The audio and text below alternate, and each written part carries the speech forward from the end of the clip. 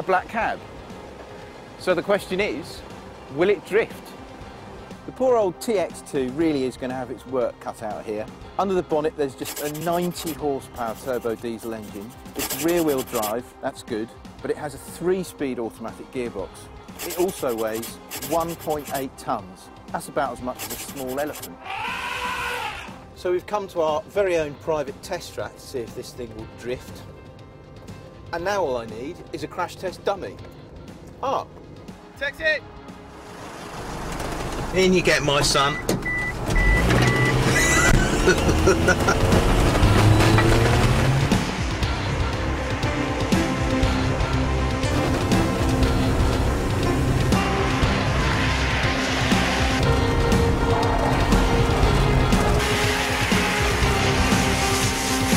see that again in gratuitous slow motion.